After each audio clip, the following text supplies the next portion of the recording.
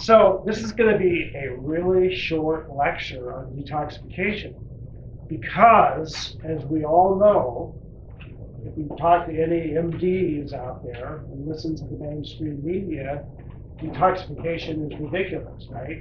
It's only practiced by quacks and it's just complete nonsense. So that's that's my lecture on detoxification. Any questions? Why? Uh, come on. You're all like me, right? You only breathe in oxygen, life giving oxygen, fuel for our cells, and you never breathe out carbon dioxide, which is the waste product from catabolism of foods and nutrients. And you're like me, you never go to the toilet, right? You don't, you eat food all day, but you never poop and pee, right? Because that's waste, that's elimination of toxins and we don't believe in detoxification. Or you're like me, you have a house and you bring stuff into the house, you bring in food, you get the mail and you get a newspaper and you buy stuff that's all wrapped up and you just take all of that trash and you leave it in your house, right? Yeah. Because you don't want to take out the trash. That would be like detoxing or something like weird like that. You know? So how have we come to this world where something as fundamental as detoxification has been sidelined into this sort of weird, you know, quackery, the medical establishment, the media don't want to talk about it, they poo poo it. How did we get to this stage? Um, I think one way to look at that is to, um, to look at this word. Uh oh, we got a pin problem. Go for the black one. You should just throw that one away before we can stop. Oh, yeah.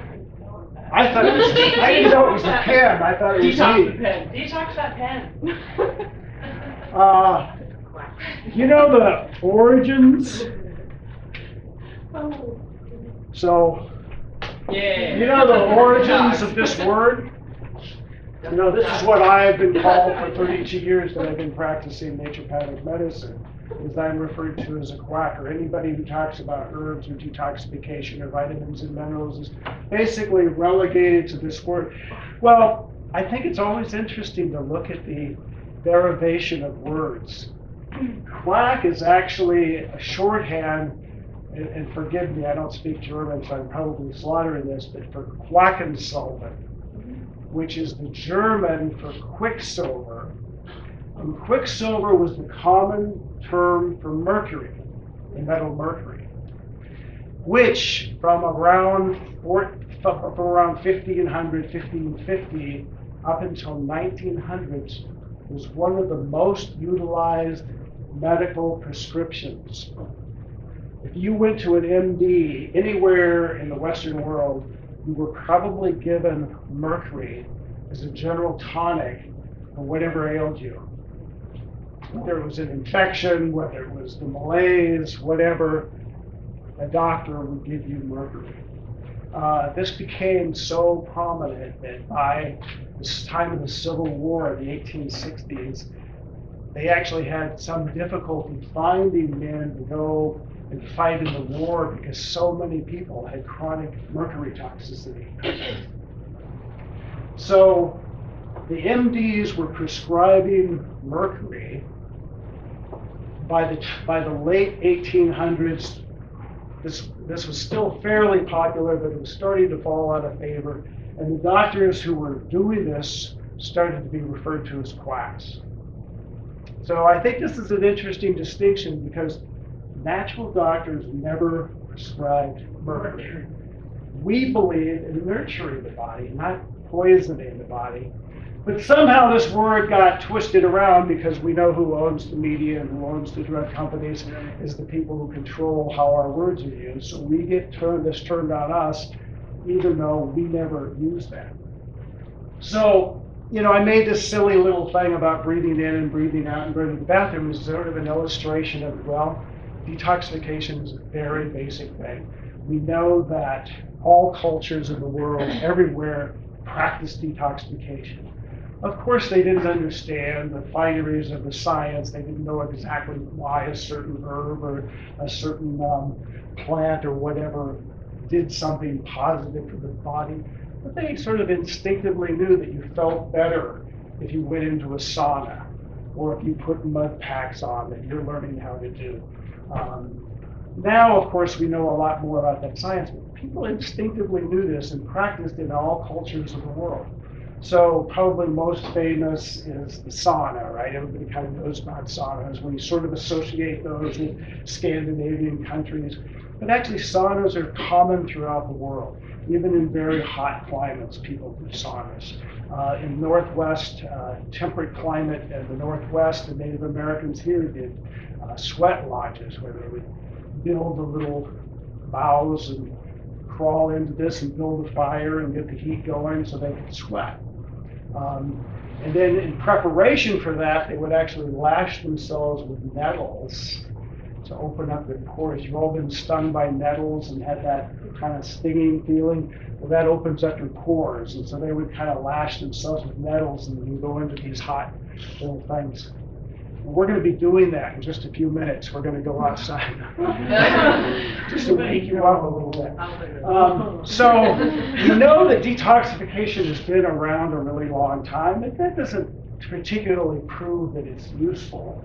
Um, what do we have to kind of say, well, if you were, if there was a problem with detoxification and you needed special doctors to do things about detoxification, wouldn't we be toxic? Well, the fact of the matter is we are toxic. And the literature, the scientific literature on this uh, is overwhelming, which is that we are all toxic.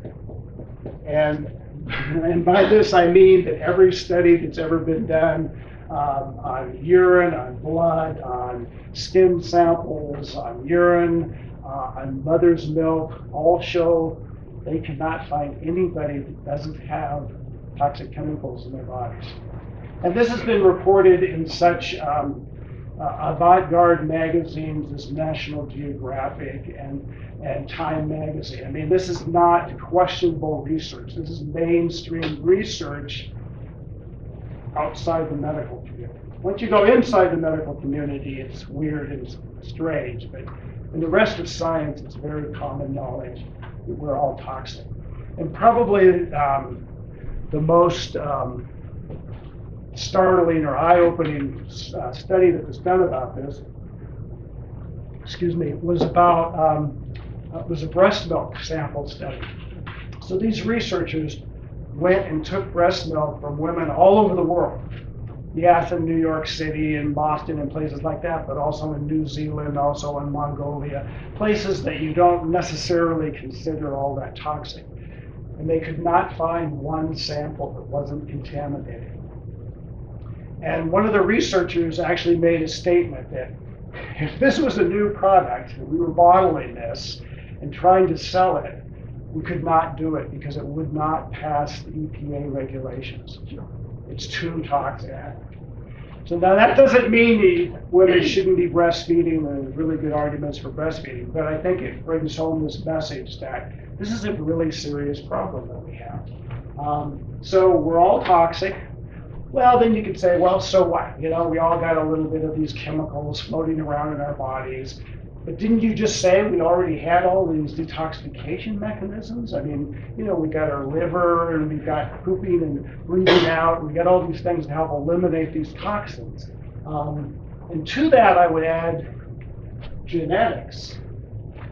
You know, one of the very exciting things about the new opening up of the human genome is that we're able to look inside and see our genes that you know, maybe make estrogen or maybe make thyroid and do all of these really fundamentally important things for it. Well, there are probably more genes that code for detoxification than any other function of the body, which to me says that's really important. But you could also argue that, well, you got the genetics going for you, you got all this stuff. So, so what if all those toxins are out there? Our bodies are working on it. Well, that's where we come into the sort of historical perspective part of this, and to think, well, just like we talked about before, here we have uh, human evolution, and we could go back a million years or whatever we want to go back, and we say, for most of our time span, we lived in the quote natural world. It wasn't until this little, you know, uh, eye blink of a snail uh, time 150 years ago that the science of synthetic chemistry started. That's when we started taking coal and oil and making different things out of it. So the first thing that we made was dyes.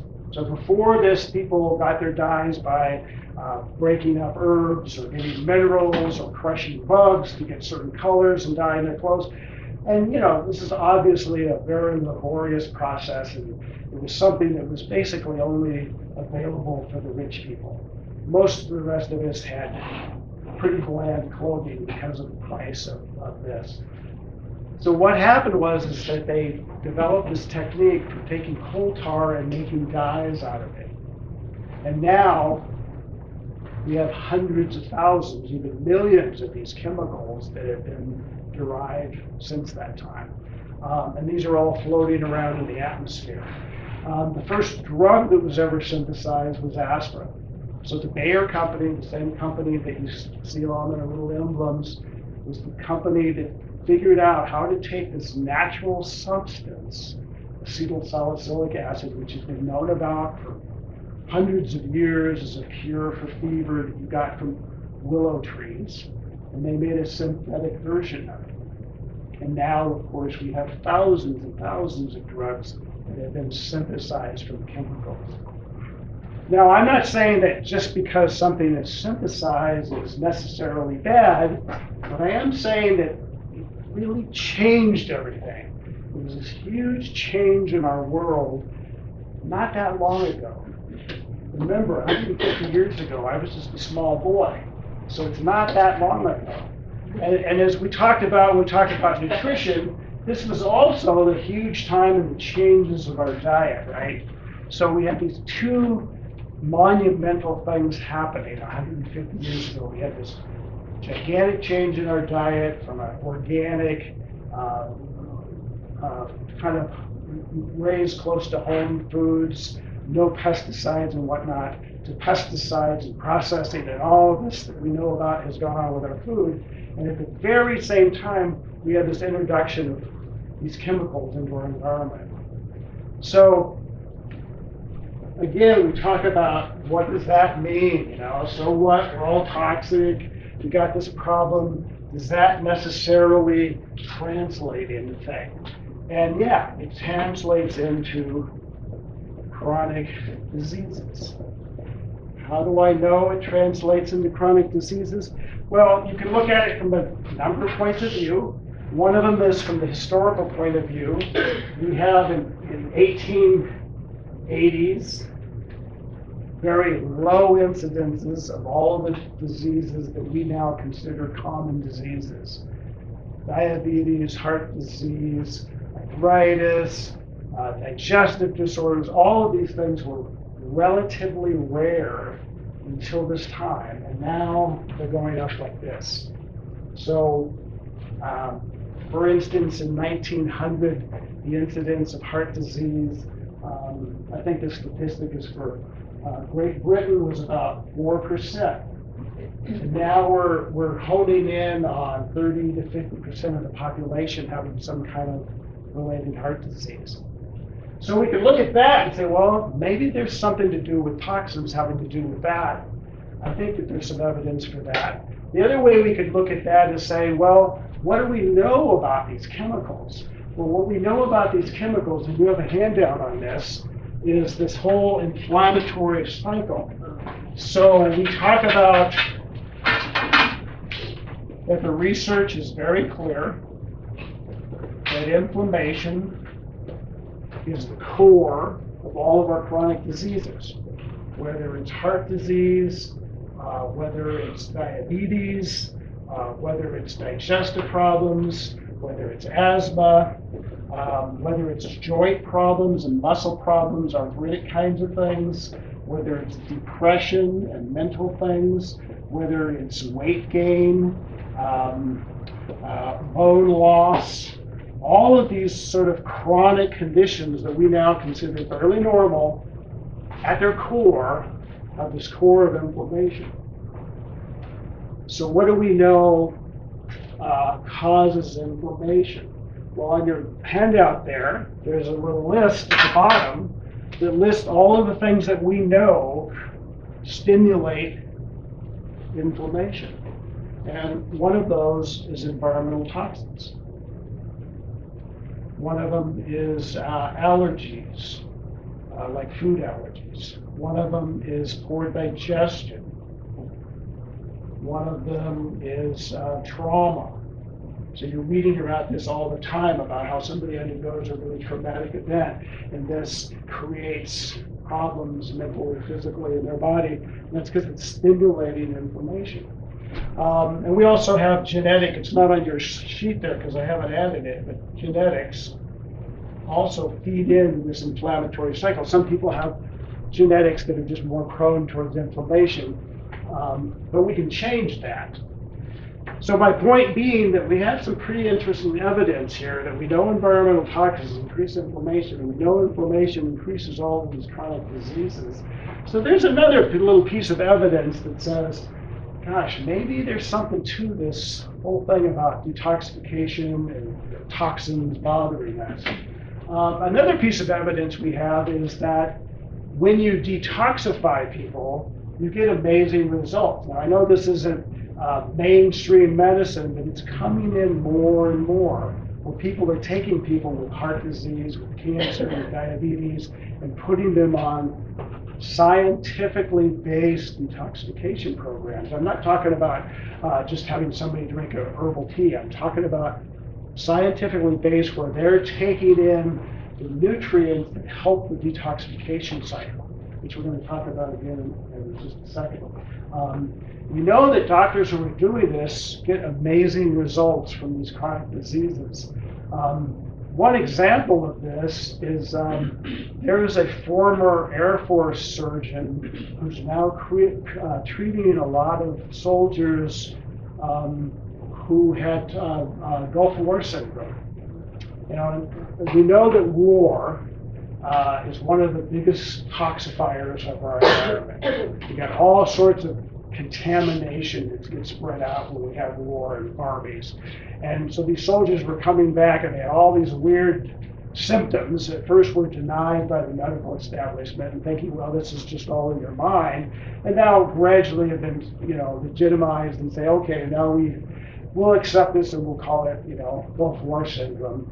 Well, the doctor who's having the most success with these people is the person who's detoxing these people, getting all of these toxins out of their body.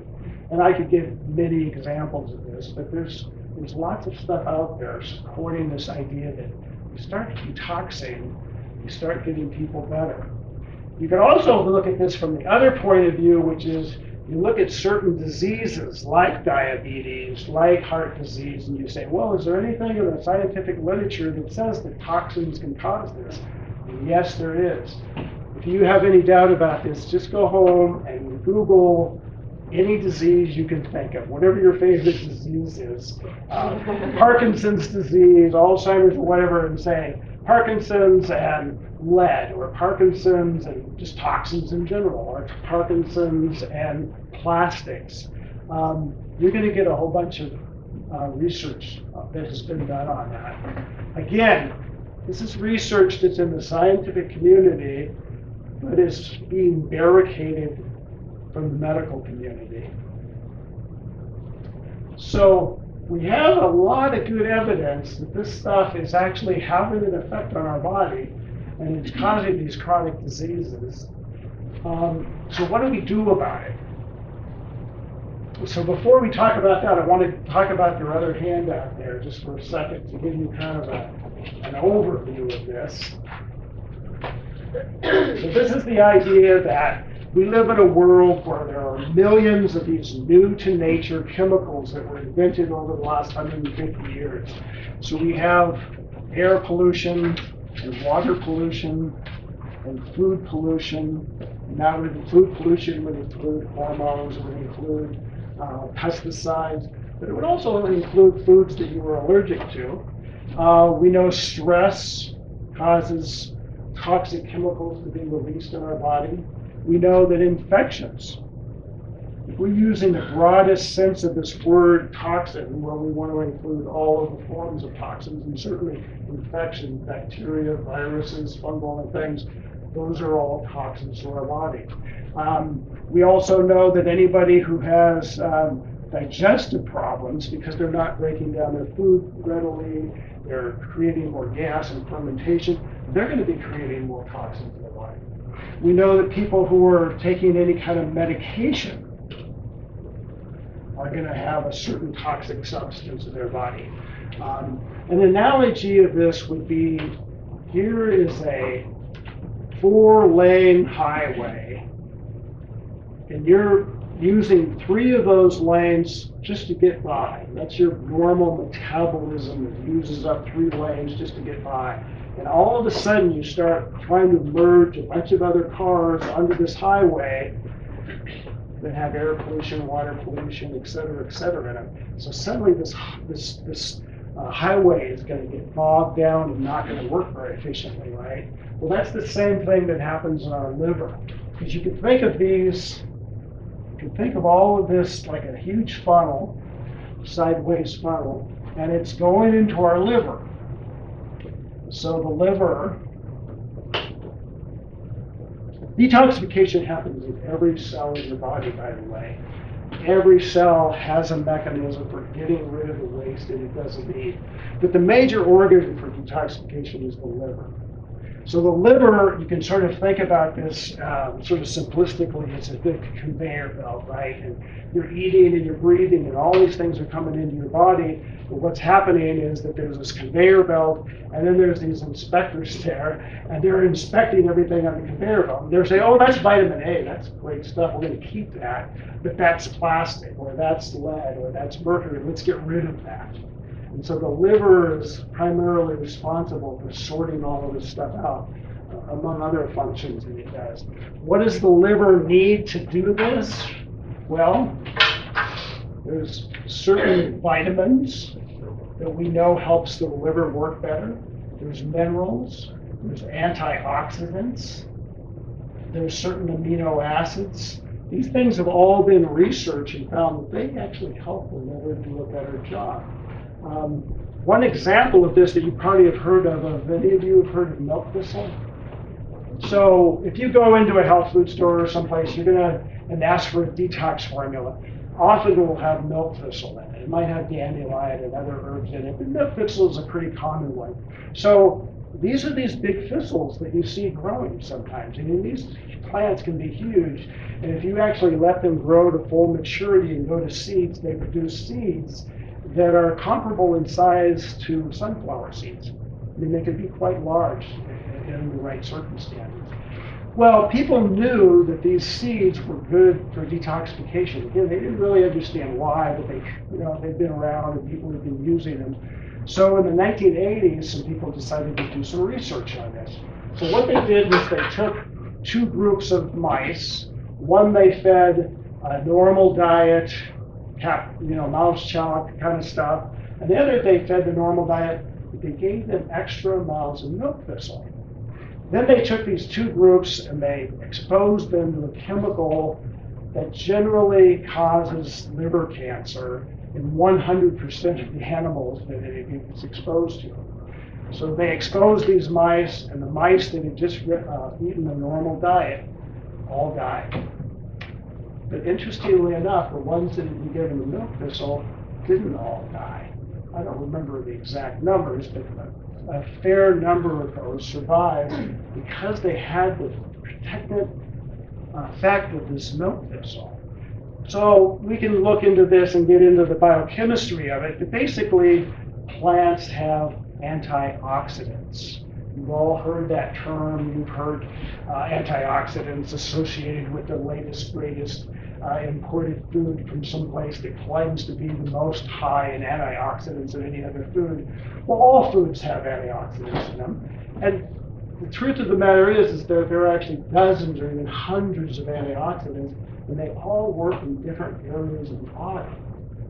So, milk thistle happens to have some antioxidants that work particularly well in the liver. You may have heard of people using uh, an herb for vision Well, that's because it has antioxidants that are particularly good for eyesight, and et cetera, et cetera.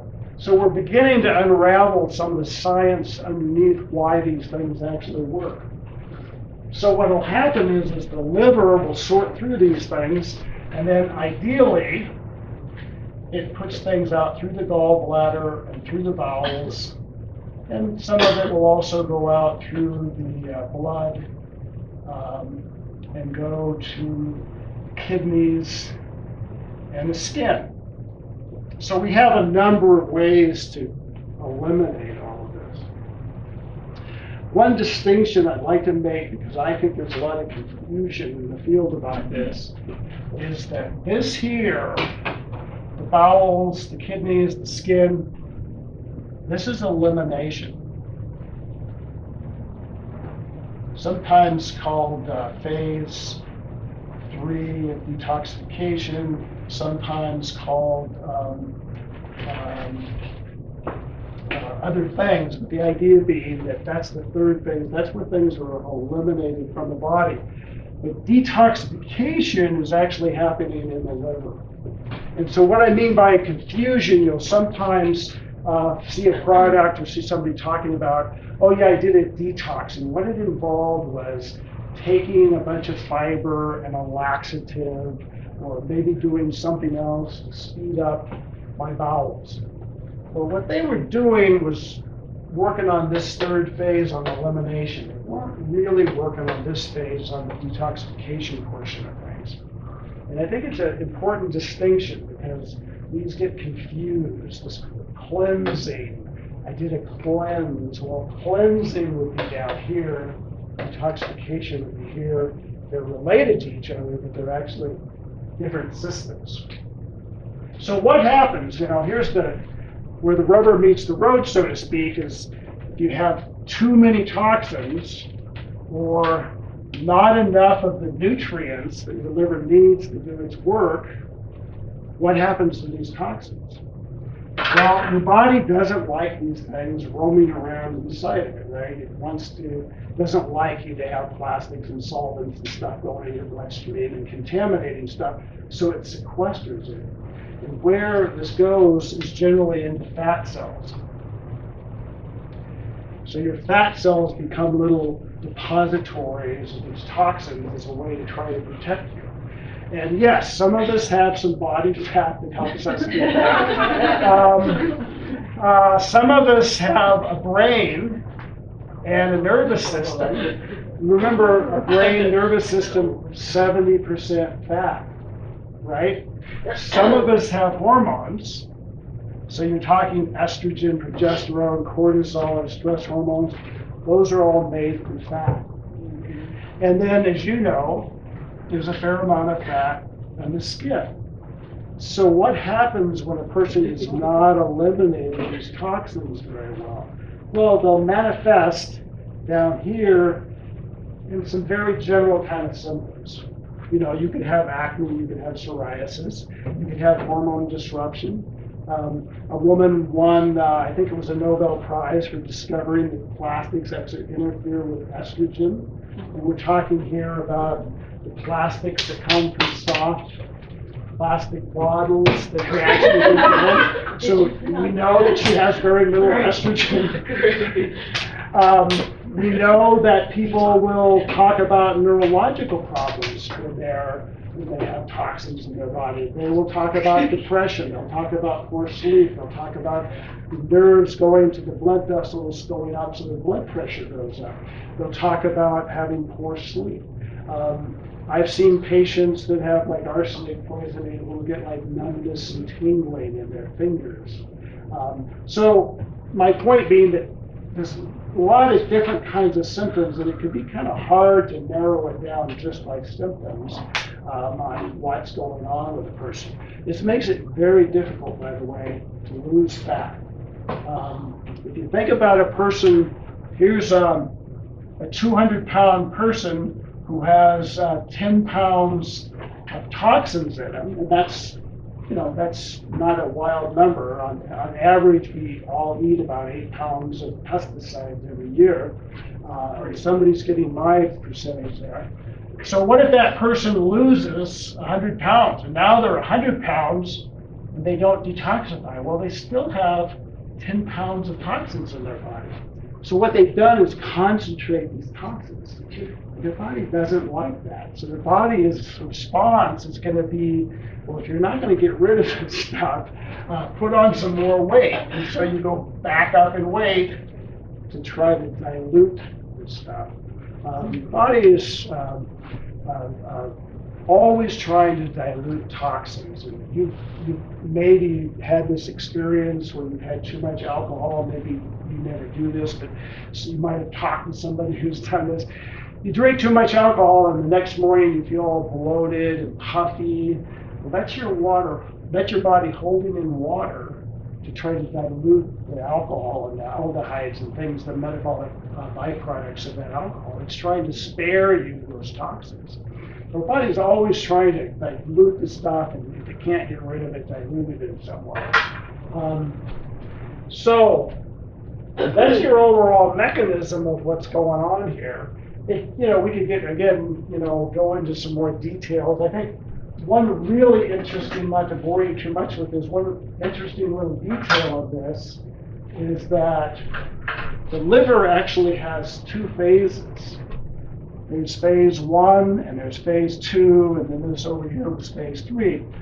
Well, phase one, you can think of um, the inspectors inside the liver. They're watching this conveyor belt going by, and they're seeing stuff. Well, every time they see something toxic, they take their little magic marker and put a little mark on it to tell the um, second part of the liver that this is toxic stuff. You better get rid of this right away. So obviously the liver doesn't have little magic markers. What it does is it adds a chemical. So think of this, this is the toxic chemical that's going through your liver. And the inspector puts a little chemical onto that. And that's what is alerting part two of your liver that, hey, this is really toxic stuff and we need to get rid of it. So what's fascinating about this is that this is actually more toxic than this. In other words, your, your original toxin wasn't so great for you, but this is really bad for you in many cases. And you think, well, why would the body do that? Well, for millions of years, the body was very efficient in getting rid of that. So it didn't matter that it was more toxic. Because part two of detoxification worked so well that it could just get rid of it. Well, now we've disrupted all of this. Now we have poor functioning, both stage one and stage two of detoxification. So we got more toxins, and we have even more toxic toxins in our bodies than, than we would have normally. Um, so uh, that's kind of the overview. I want to talk in just a minute. I want to sort of talk some practicality because People are going to be coming to you and they're going to be talking about, you know, what do I do? Or I'm doing this detox. And what do you think of this detox and whatnot? And we're going to talk about that in a minute. I just want to say a word here about um, bad treatments.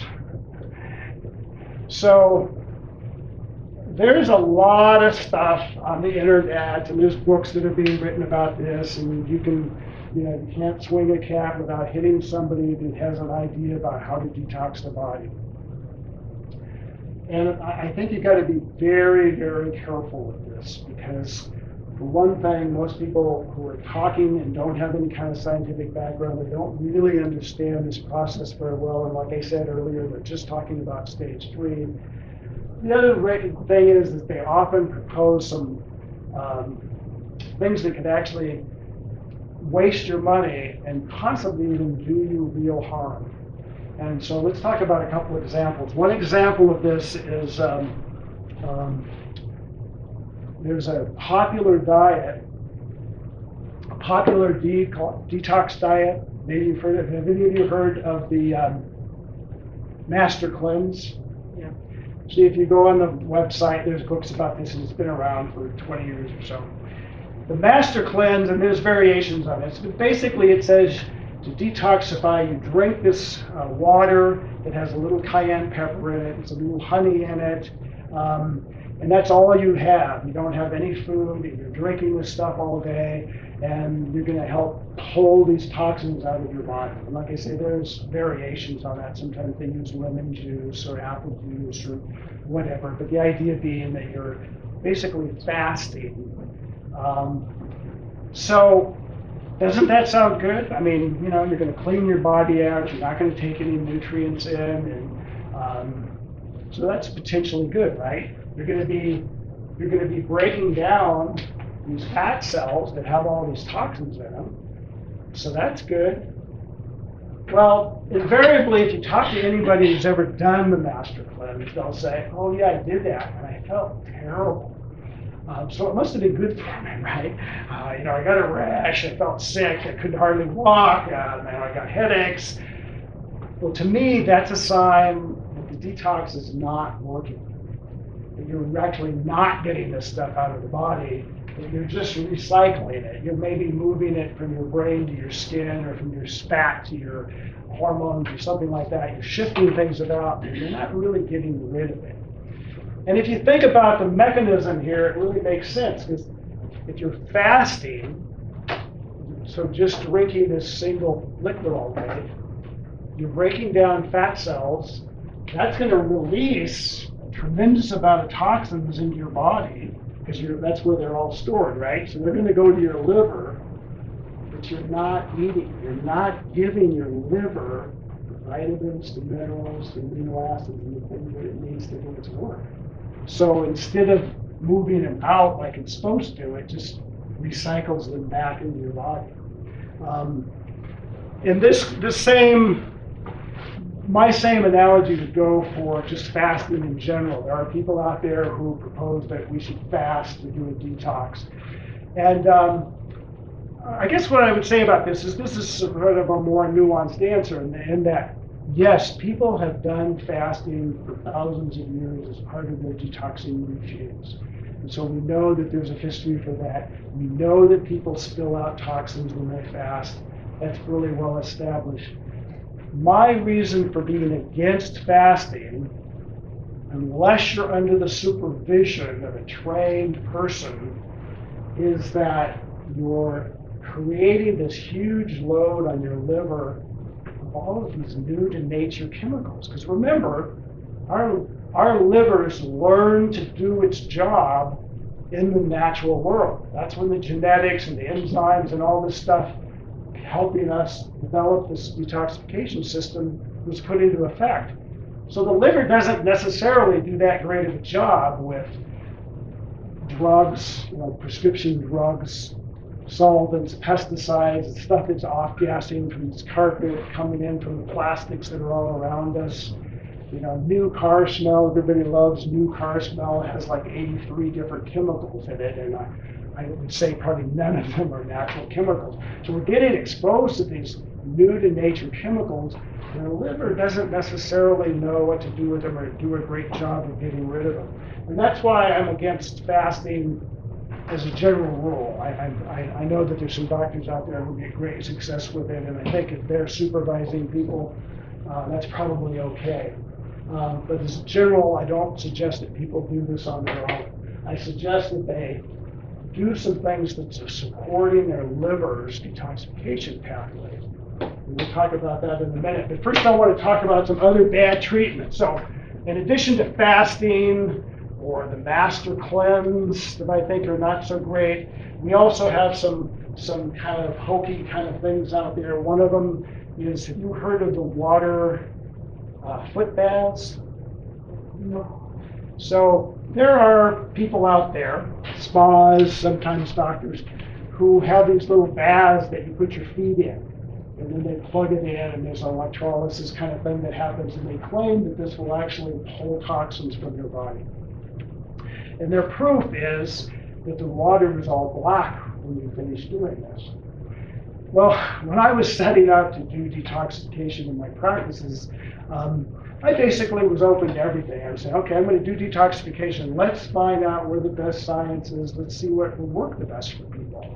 And these, the people who were selling these gizmos for doing the foot baths came to me and they said, oh, look at all this and look how dirty this water is. And um, oh, we have these testimonials of these people saying they feel better.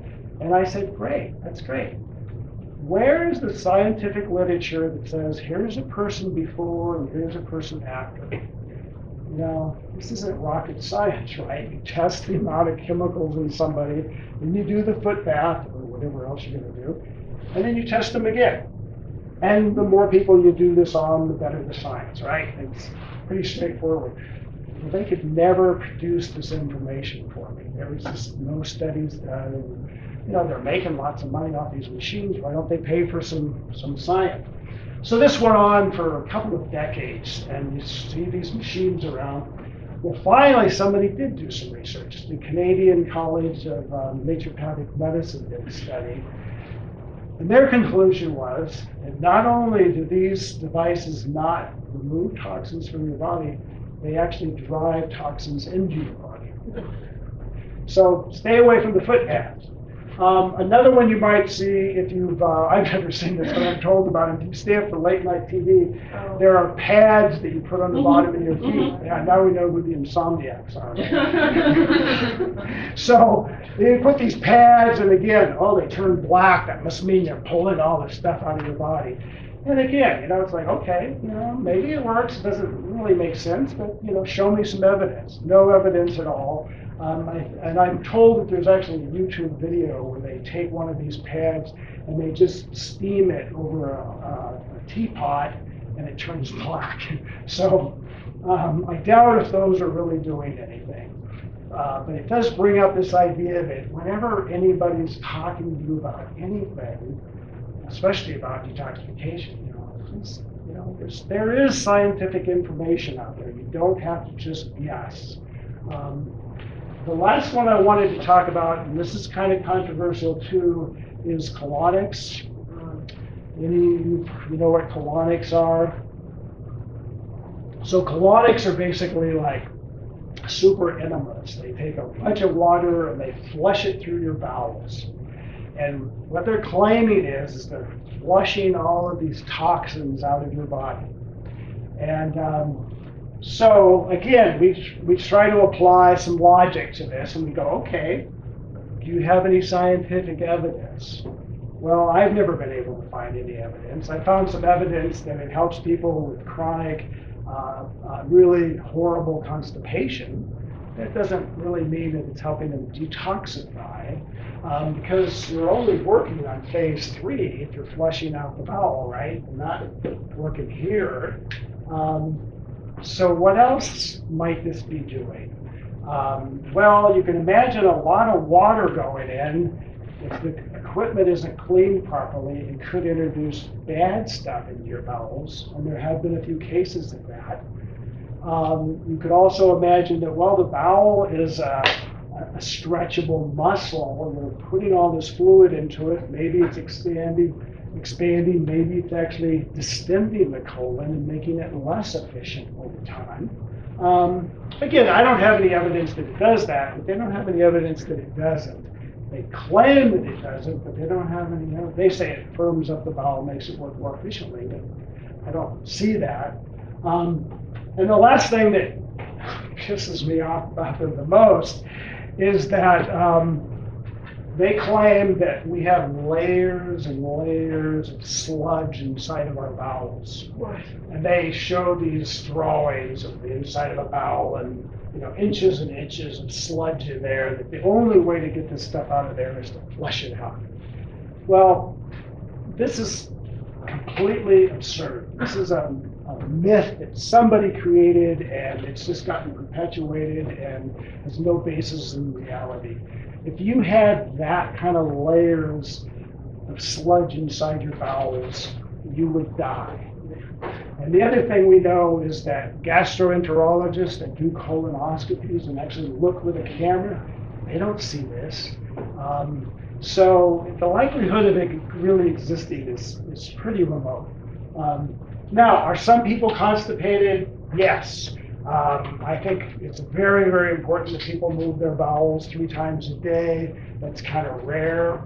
But that's what our human physiology says we should be doing. This is what human population studies that look at people's health say that we should be doing. They look at people and they say people who are constipated or only have one bowel movement, they have more hemorrhoids, more gallbladder disease, more acne, all sorts of medical problems. We also know that physiologically, when we eat, it stretches the stomach and sends a message to our brain, it sends a message to our bowels that says, start moving. So theoretically, you know, and in practical purposes, we should be having bowel movements three times a day. And this is a really important part of the process. But again, it still isn't detoxification. We got to work on these things together. Um, so anyway, I'm against uh, colonics. Um, so let's talk. Um, let's talk a little bit about some practical things because I don't want to make this all theoretical. Because, like I said, people are going to be coming to you so let's talk about, um, actually, let's not. Let's talk about, I think an interesting exercise is to say, well, what can we do on a very practical level to detoxify? Because I hope I've established this idea that we should all be detoxifying 24 hours a day, seven days a week, and we want to be maximizing our ability to do that. So how can we do that? And let's start with the uh, the really easy or free things that we could be doing to help us detoxify. Any of you have any ideas? So I think the one that comes up the most commonly is water. You know, we know that water helps the liver, all chemical processes in the water in the body work better when there's enough fluid to make the action happen. When cells are dehydrated, they're less efficient. Uh, we also know that the kidneys need that water to flush stuff out. Um, how much water? Subject to debate. You know, the rule of thumb is eight to ten glasses a day, or one half of your body weight uh, in, in liters, right? Excuse me, in ounces. So that would be a 150 pound person with 75 ounces of water a day. Um, there's amazingly very little research done on this because there's no money in water. Um, and nobody wants to kind of do this kind of study. There's nothing to patent, nothing to sell. But we can we can get a pretty good idea from just studies and testing people's hydration levels. Um, one thing that I do to all of my patients is I have a special scale that I have them stand on when they come into my office. And the scale, of course, does their weight, but it also does their percentage of water. So we can find out whether a person is dehydrated and then suggest that they have more water. It also tells the percentage of fat, percentage of muscle, abdominal fat, and some things like that. So now that I got the ball rolling, um, what else would you say would be really simple things to tell people to do in terms of basic detoxification? You know this word. It's fiber.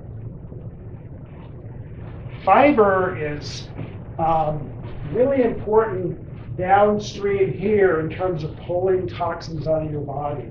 Um, what fiber, you know, people kind of, oh, fiber, it's just this sort of inactive stuff But fiber is actually grabbing on to things and helping to pull them out of your body. Um, I don't know if any of you saw this, but a few years back there was this huge study done and, and uh, published in major medical journals about how oatmeal lowers cholesterol. And uh, there was actually so much to do about this article that they were there were editorials written to doctors saying giving fiber is just as effective as giving drugs. Well, that lasted a little while, and those people were sort of shut up uh, in favor of the drug people. But how does that work? Like, why would oatmeal lower cholesterol? Well, when you've got the liver produces bile in the gallbladder, and when you eat fats, it secretes the bile into the intestines that help you digest things. Then it moves through your bowel. Well, if there's fiber there, it will grab onto this bile and help move it out. Well, bile, a large constituent of bile is cholesterol. So it's grabbing onto this and saying, hey, let's get rid of this right away. We don't like all of this sludge hanging around. Let's, let's get it out of our body. Um, that's why it's always a bad idea to have your gallbladder taken out. I wouldn't say always a bad idea, but often a bad idea. oh yeah, somebody just had that done. so what else? Come on, you can help me here. What else would happen would help this process? Pardon me? Whole food. Yeah, whole foods, because what are whole foods going to have in them? They're going to have more vitamins, more minerals, more antioxidants, all of these things that we know help with detoxification. So a whole food diet is going to have more fiber in it. It's going to have uh, more vitamins, minerals, and antioxidants, and all of these things that we know help the liver do its job. Um, this might not be as obvious to you, but you may have seen the research or heard along the way about research that talks about how broccoli and cruciferous vegetables are really uh, good at lowering your incidence of cancer. So when I graduated from medical school 32 years ago, the line of the American Cancer Society was that diet has nothing whatsoever to do with cancer. Now they've become a little more enlightened and they will say, oh, it looks like cruciferous vegetables are of some help with cancer. And actually, they're of great help with cancer. And um, they have uh, various chemicals in them that basically aid the liver's ability to take toxins out of the body. So the cruciferous vegetables, the broccolis and the cabbages and all that kind of stuff, which are traditional foods that were eaten in all cultures, um, are really, really good for this whole detoxification process. Um, another one you may not be as quite as obvious with uh, is beans. Uh, beans have a lot of different kinds of beans have a lot of antioxidants in them. They have a lot of fiber in them, and they have a lot of sulfur in them. Sulfur is one of the main constituents of this detoxification pathway. So sulfur, coincidentally, high in beans, high in broccoli, high in onions, garlic, all those things that you keep hearing about as being really good for us. They all have that thing in common, being very high in sulfur. So the sulfur-containing foods. The World Health Organization published a study showing that, um, and forgive me, I don't know exactly the numbers here, but if you ate beans, I think it was three times a week, a half a cup or something like that, you reduce your chances of cancer by as much as 60% depending on the kind of cancer. Like some kinds of cancer, it reduced it by 20%. Some types of cancer, it was by 60%. So really interesting uh, research on just you know simple things like beans and how because they affect this detoxification pathway, they're really good for us. Okay, I won't pester you about this anymore. Let's get into your specialty. What can you tell people in terms of your work that would help them detoxify? Moor mud. Pardon me? Moor mud. That's all right. Um, have you heard of the more oxygen mud? Oh, Moor mud. Yes. Moor mud. So, I'm sorry, I was blanking out there. So, yeah, any kind of skin treatment that does a number of things will help you detoxify. So, you're talking about clays and muds of various kinds that, again, have been for hundreds of years. People have applied these things to the body and it pulls out toxins and makes them feel better. Uh, again, we get back into what we talked about earlier saunas, anything that heats up the skin, it gets more circulation to the skin. So here we're talking about really exotic things to do, like exercise. Um, anything that gets your circulation going, gets you sweating, Uh, massage, well, massage helps you get the circulation going, it, it stimulates the lymphatic system that helps drain stuff away from the skin. All of these things are really good at detoxifying, and of course, you're learning how to do that kind of stuff, and you're seeing the differences, pulling out these toxins on their skin and making a difference in things like acne and psoriasis and whatnot. So, any, anything else you can think of? I think you covered it. I'd make, I think you covered it. oh, yeah.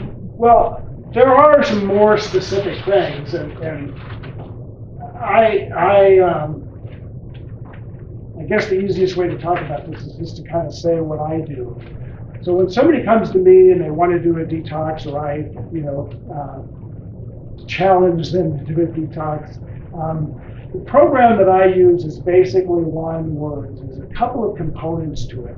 One of them is is that I'll have them drink a supplemental diet, and the reason for the supplemental diet it's a it's a powder. Um, it's got protein in it. It's also been fortified with all of these things that the liver needs to do its work better. Um, so there's some amino acid blends and whatnot in there. And we'll have them start slow and build up because we don't want to overstimulate the liver to do too much too fast because we don't want to have a negative reaction, right? So I'll have them do this once a day for a few days, and then I'll have them do it twice a day, and then three times a day, and then do that for three weeks. The question always comes up there is, well, do they eat anything? And yes, what I help people do is eat a whole food diet, um, drink lots of water, eat lots of vegetables. Because the shakes have protein in them, they don't have to worry about protein as much, but they're certainly uh, able to eat protein, but we want them to eat organic proteins. Um, and the other component that I have people do, especially if they have any mystery about whether they have food allergies, I'll have them do an elimination diet. Because remember, on our list of things that are toxic for the body, uh, besides chemicals and stress and whatnot, are foods that you're allergic to. Those are toxic to your body. So some people choose to, during a detox, to actually do an elimination diet and not eat the most commonly allergic foods. Um, and the most commonly allergic foods are Wheat, wheat, corn, soy, dairy, eggs, um, Peanut. peanuts. Um, I mean, you know, you can be allergic to rutabagas, but those are kind of the most common things. So I'll have people not eat those during this time and then substitute other grains for wheat. Maybe they're going to eat more rice, maybe they're going to eat more quinoa or something like that. Um, and um, it sort of does two things at the same time. On the one hand, it eliminates toxins coming in, but it helps educate them. Because a lot of people come out of this thinking, wow, I never realized how badly X affected me, you know, wheat or corn or whatever. Um, and I've heard the story thousands of times. And somebody will say, I felt great during that detox. I felt really good. You know, I was going to work. My work day was good. I was waking up with more energy. Um, everything was going well. But then there was this party at work, or you know, life came along, and they just couldn't resist having some wheat or some dairy or maybe both. Um, and then they say, "Oh my God!" The next day, I just felt terrible. I woke up with one of my migraines, or I woke up with, you know, my skin, which had been clearing out, was worse, or my depression, which had lifted, had gotten worse. Um, my favorite story about this, I had this patient a number of years ago um, who was a self-described bitch. I didn't, I didn't call her that. She called herself that. She said she was really obnoxious. She worked with these people that all just thought she was a horrible person.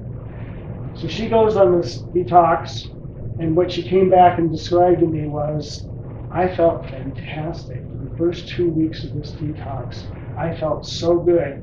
And one of my employees came up to me and said, Are you taking Prozac? Oh. You are just so happy and different than you normally are. And she said, No, no, I'm just doing this diet.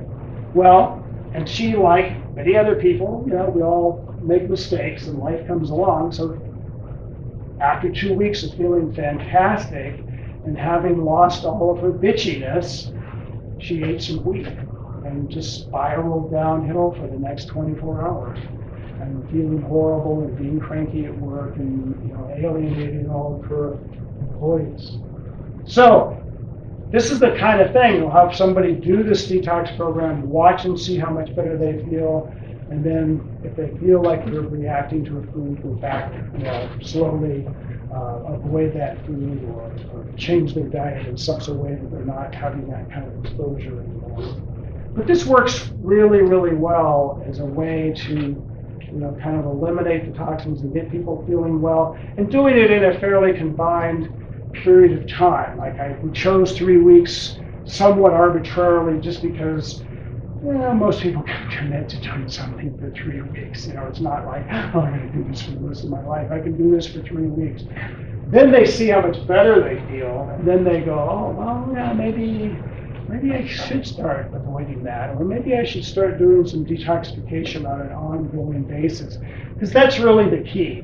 You know, doing a heavy-duty detox is really important for a lot of people, especially people who are very, very sick. They get great results.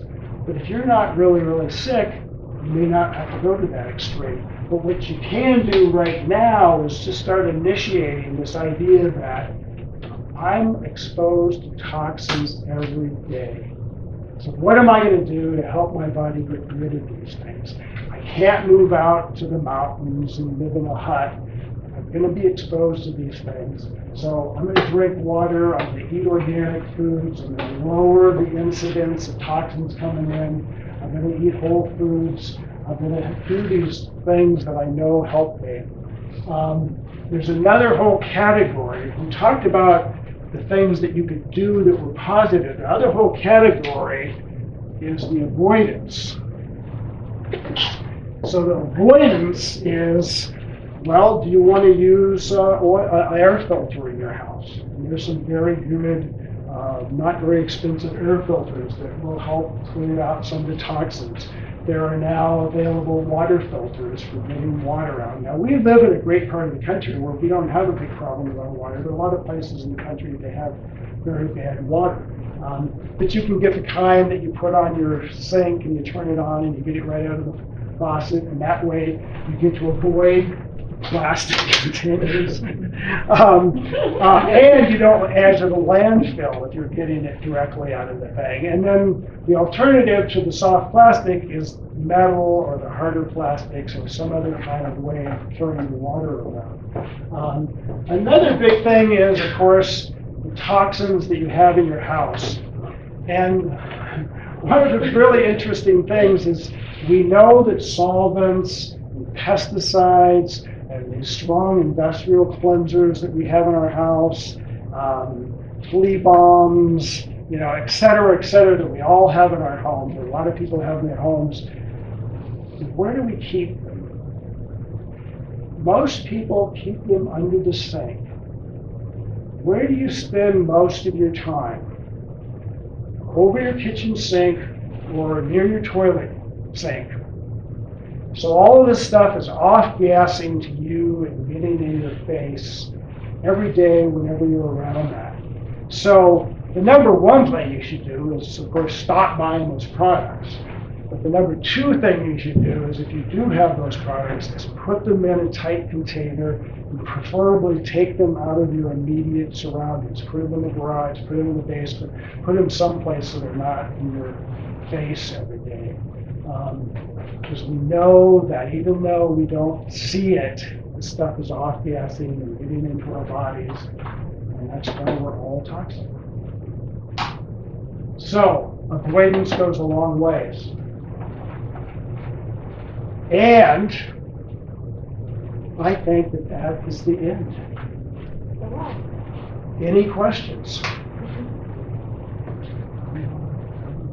What was, so you kind of explained phase one of the liver detoxifying process, but what was phase two?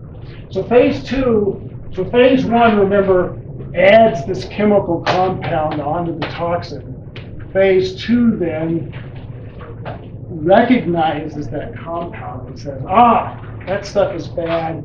I need to get rid of it, I need to excrete it right away.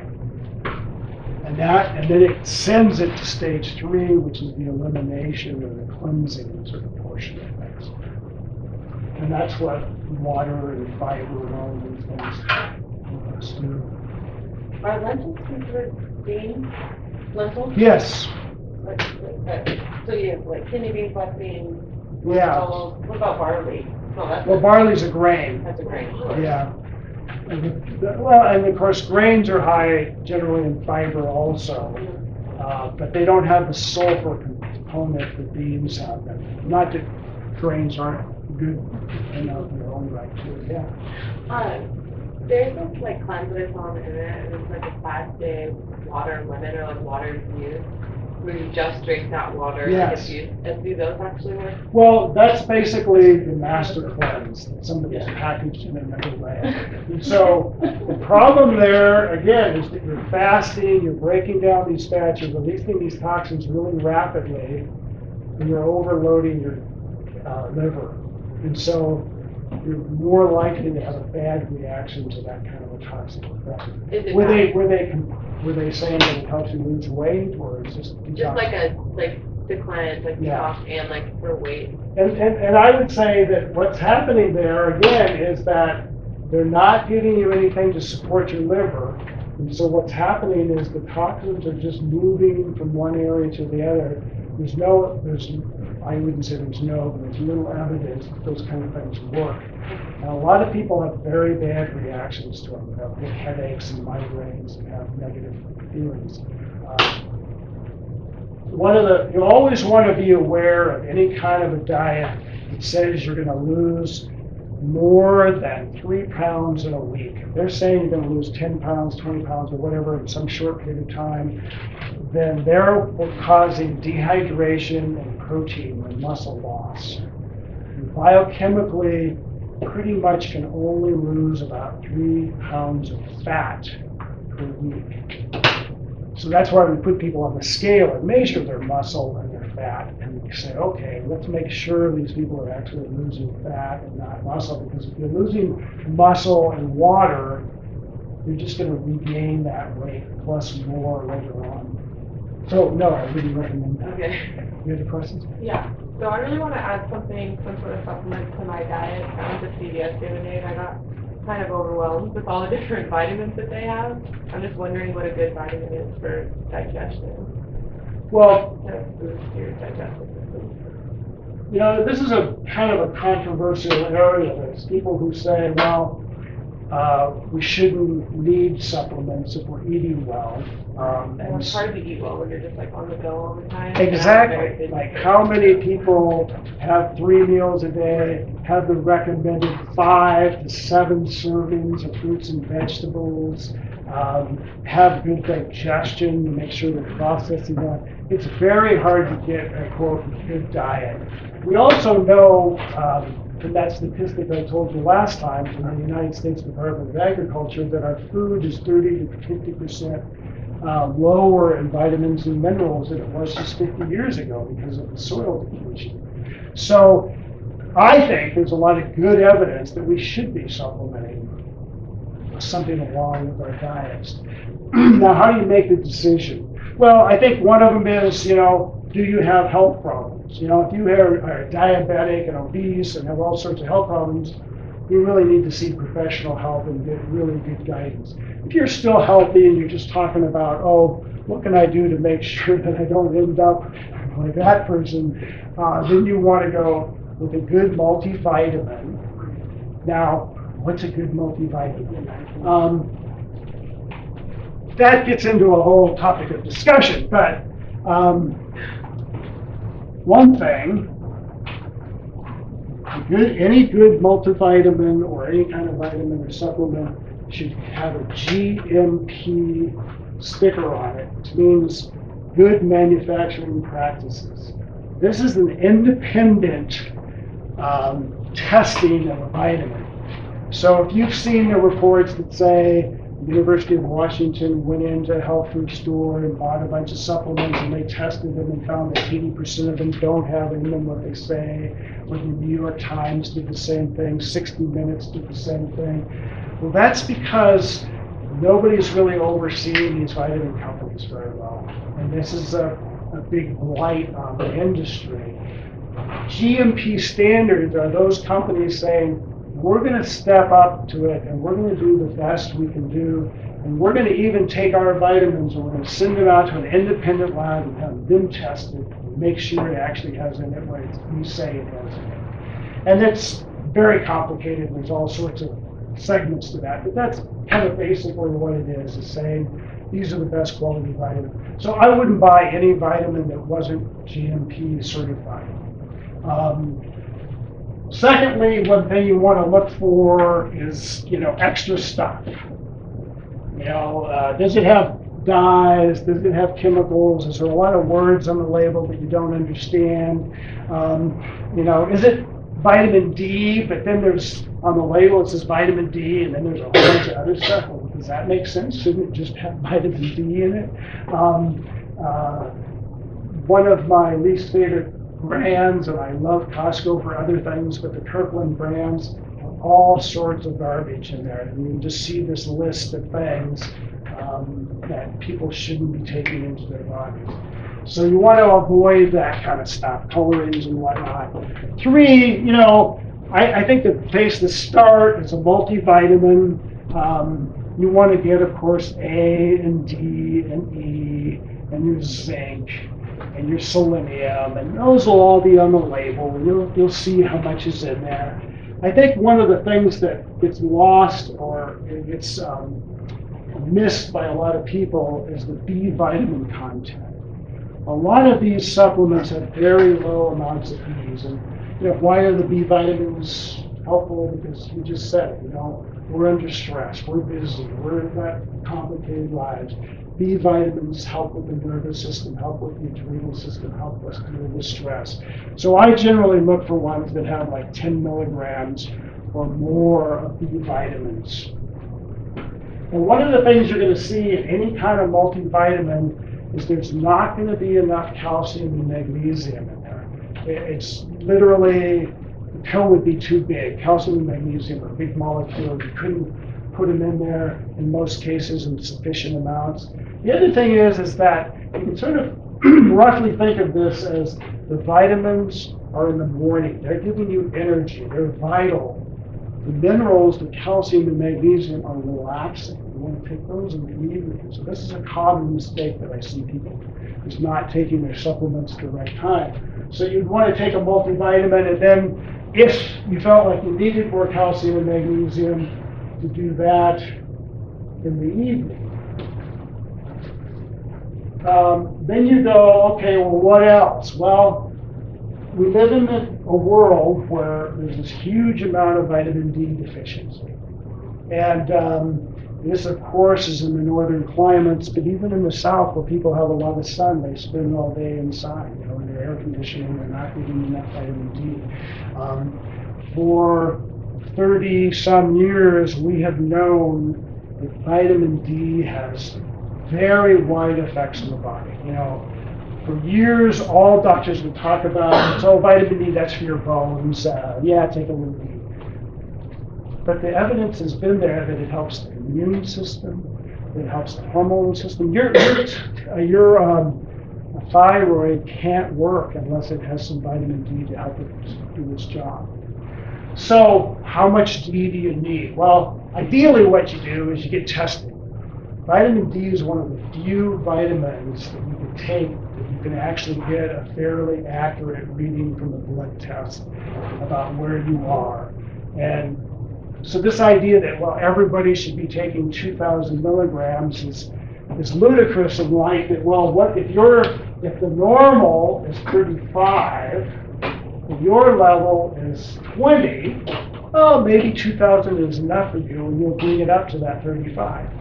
But what if your level is only 4? And I've seen this on, on lab tests. Instance, vitamin D is 4, and it's supposed to be 35 or above. Well, that person you might want to have take quite a bit more vitamin D than that.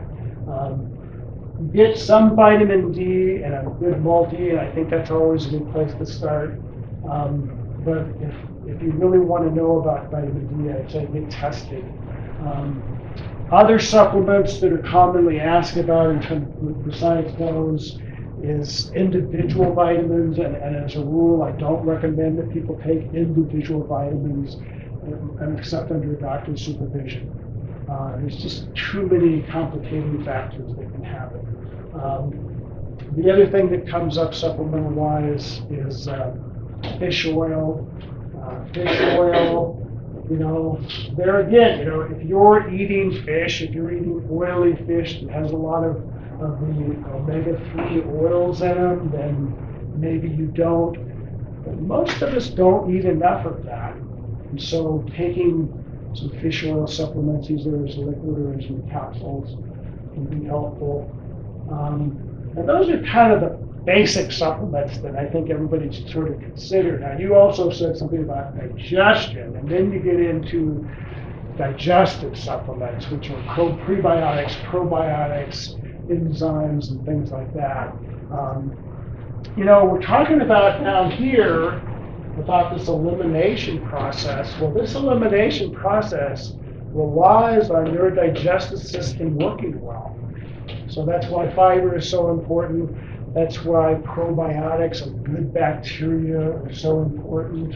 Um, Um, well, it's a matter of, uh, like the billion that you should take in a program probiotics. I would get confused. well, I know like, It's- you know, you're- say like twenty or twenty-five is what I've always been, make sure it says twenty or twenty-five billion. Those numbers are kind of hard to find, and I always find like fifteen, like, Yeah. that should be enough.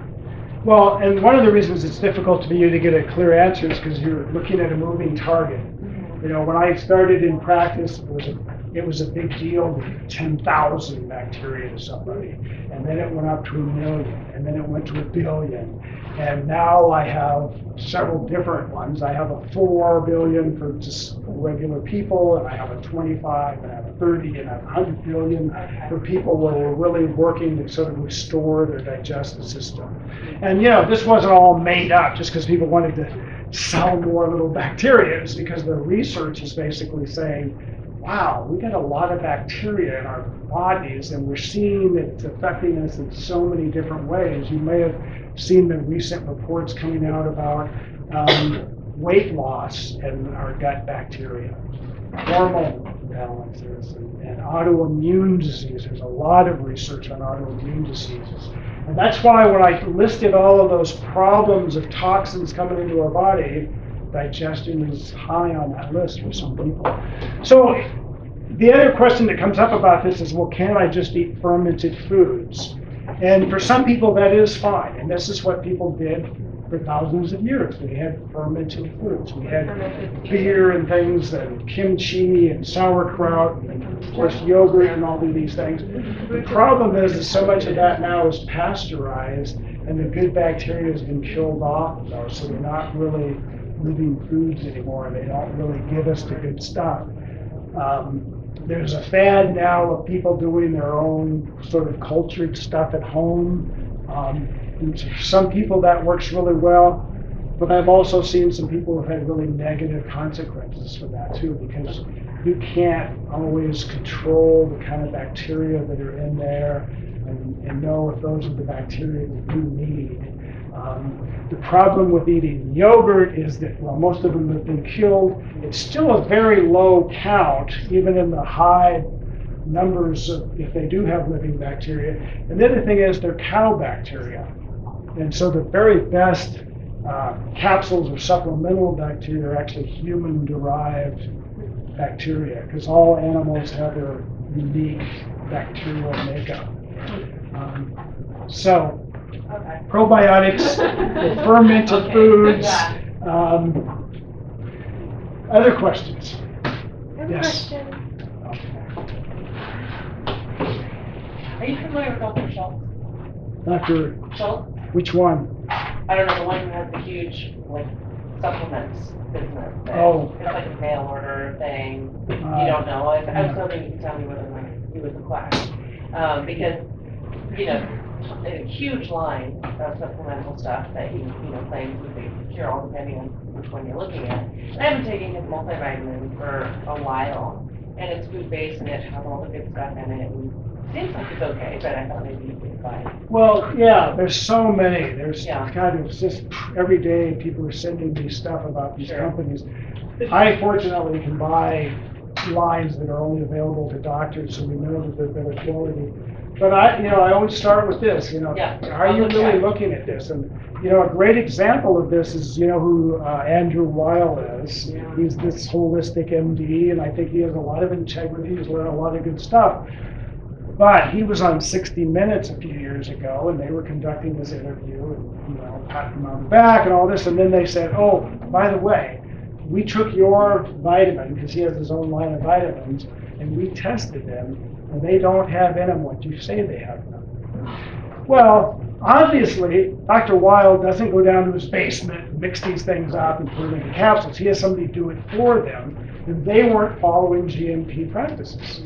So, you know, I don't know if they were doing that out of negligence, out of, just trying to save money, uh, if they were actually willfully trying to cheat him or whatever, but anyway, they weren't doing it, and he was, you know, um, you know, astounded by this. So it's really, really important. I, I, another story about this is I, I, I knew these people that had their own supplement line. Um, they're, st- they're still around. It's a very good quality supplement line, and they would test everything they got in. Well, they were trying to get um, fish oil because obviously they're not going out and catching the fish and squeezing the oil out of right? They're buying it from somebody else. Same thing for B vitamins and everybody, you know. People aren't making these themselves, they're buying them from other people. Well, they would, they would say, okay, we're interested in buying your fish oil, send us a sample. The company would send them a sample, and it wasn't even fish oil. It was something really cheap, like, uh, uh, like, um, uh, uh, usually it was soy oil corn oil or some very inexpensive oil. So, other questions? Surely you had toxic experiences in your lives. Well, I, I, I did a cleanse a few years ago. There was a D, it's something I got at PCC, and we had to take these tablets a few times a day with water and eat a very light diet. Um, and I did it probably more often than was prescribed. Can you cause yourself intestinal, permanent intestinal damage? Because shortly thereafter, I became very sick and ended up having, um, massive B12 deficiency, pernicious anemia. Huh? So I was wondering if it could possibly be linked to that. Uh, certainly, possibly. I mean, you know, without knowing the specifics of what was in it. But, you know, do you think it was more of a cleanse than a detox? It was more of a clay and maybe a little laxative or something like that in there? It seem to really have detoxification component, antioxidants and sulfur compounds? Uh, I don't really remember the mostly pill within it. It was- it was tablet based. Yeah. And I'm, I don't remember exactly what was in it, but as I said, I think they wanted you to do it like once every change of seasons, and I was doing it like, for kids, was great, I'm weight and everything, so I was it like once a month, and then I got really sick. Yeah. Like permanently sick. Yeah. Well, it, it, it gets even, it gets so complicated, you know, and uh, jumping back to genetics for a minute, you know, one of the great things we've been finding out by doing people's genetics is finding out that there are some people who are, don't process sulfur very well. So this is what a paradox. We need sulfur to detoxify, and yet some people genetically don't process sulfur, break it down and get rid of it very well. So if you were, for instance, doing some kind of program where there was a lot of sulfur and you have this genetic weakness, it could have thrown you into a crisis, yeah. Now, there's ways to get around that. We would never say to people, don't, you know, avoid sulfur. For one reason, it's impossible. The second reason is because you need it. But you might be careful about excessive amounts of sulfur and then do other things to open up those pathways to help your body process the sulfur better. So I can see a possibility of that. And then the other possibility is there, there was a lot of clay in there. Yeah. That can take out the B12 and some of the nutrients as it's taking out the toxins too, if you're not, especially if you were sort of already kind of marginal there. Um, So it's certainly possible, and that's, that's why, you know, I know I'm prejudiced, because I, you know, that's my job, is to do detoxes on people and to see them, and so of course I want people to come to me. But I see so many people who are at very least wasting their money and often hurting themselves by doing what they think is good stuff Right. because it was recommended on a website or they saw it a jar at PCC or something like that. And, uh, and of course, always follow the directions uh, anything else? I think our time is pretty good here. Yes. What about anemic people? Or like, What about them? Yeah. We should do something about that. I mean, there should be a cap. I just, I just, I'm just, you know, poor person in a poor world, and I just wanna know about the anemic people. Like, what? Like, why are they anemic? I've been diagnosed with it I haven't multiple times, and I don't think it's true. Well, Or like iron deficiency. well, I, I, so I earlier I misspoke when I said vitamin B was one of the fir- few nutrients that you could test accurately. Iron is a good one that you can test very accurately if you have enough iron. So if a person is iron deficient, which is the most common, there's different kinds of anemia, that's the most common, and you go, okay, why don't you have enough iron in your body? And so first you gotta just go backwards and you say, well, what's going on with your diet? Are you eating iron-rich fruit? Are you having beets? Are you having, you know, basically meat is the highest in iron. And then, are you digesting it? Digest, gastrointestinal tract. You know, if you feel like, gee, I'm, I'm eating a lot of meat, I'm getting a lot of iron-rich foods, then you gotta question whether, you know, you're not digesting it very well and actually absorbing that iron. Now, women have the additional problem is it's always an intake and loss thing. So if you're having really heavy cycles, you know, heavy menstrual cycles, you could be losing. You could, this could all be working just fine, but if you have a hormonal imbalance and you're having really heavy periods, you could be losing it all. Lots of women even have their period. Right. Well, this gets us back. Do you remember I was talking down here about all of the things that the toxins can do, and one of them is to throw off hormones. You know, and this is this is one of the things that I really want to emphasize that so many women think that it's normal to be homicidal, suicidal, and uh, whatever other kind of suicidal every month. And that's absolutely wrong, but we, we, we live in a society where, oh, well, that's just the way you are, and you have heavy periods, and they're irregular, and just take a pill. But those are all signs of hormonal imbalances. And those can be fixed, not just fixed by taking uh, estrogen, which increases your risk of cancer, but by actually fixing your body so that it works well. Um, but if you're iron deficient, there's something going on here. Did I give you the thyroid example last time? Yeah. Not yet. So, just to reiterate, this idea to put these two lectures with nutrition and detoxification together, you know, we could be talking about any system in the body. But we're going to take thyroid as just one system. and We're going to say, here's the brain. It's monitoring the body. It's sending a message to the thyroid gland. It says, oh, you need more or less thyroid. And that gets turned into thyroid. And that thyroid goes to every cell in your body. It goes to your muscles, it goes to your metabolism, so it affects your weight, it goes to your skin. You're going to see people with low thyroid who have terrible skin and hair. Um, It's gonna go to your digestive system, so people tend to be constipated and have digestive problems if they're not getting enough thyroid hormone. So, again, you always want to go through this process of going, okay, what happens here if somebody's low in thyroid? Where's the weakness here? Well, the thyroid gland makes thyroid from iodine certain amino acids and zinc and other nutrients. So if you're deficient in any of those, your thyroid's not going to do a very good job. And how do you get those? Well, they have to be in your, they have to be in your diet, and you have to be digesting those things in order for this to work. Uh, I mentioned earlier about vitamin D.